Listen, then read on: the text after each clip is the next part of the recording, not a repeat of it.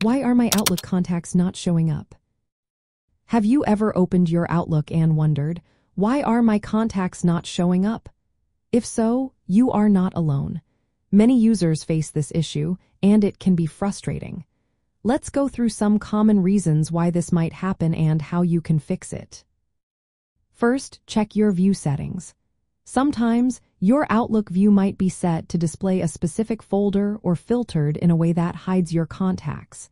Make sure you are looking at the correct contacts folder. Resetting your view settings can often resolve this issue. Next, consider your network connection.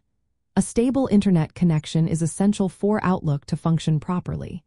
If your network is down or slow, it could prevent your contacts from appearing. Verify that your internet connection is working and that Outlook services are operational. If there are any service outages, you may need to wait until they are resolved. Another important aspect is the Outlook address book configuration. Your contact folder must be marked as an Outlook address book for your contacts to show up when composing emails. If they are missing, check the folder settings to ensure it is properly configured.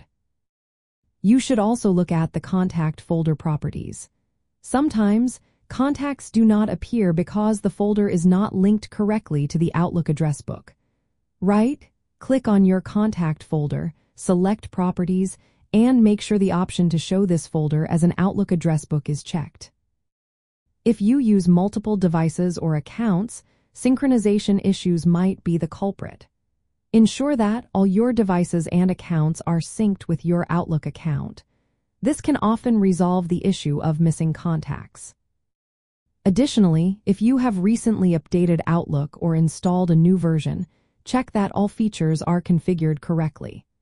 Updates can sometimes reset settings or cause temporary issues that affect how your contacts display. Lastly, in rare cases, contact data may become corrupted.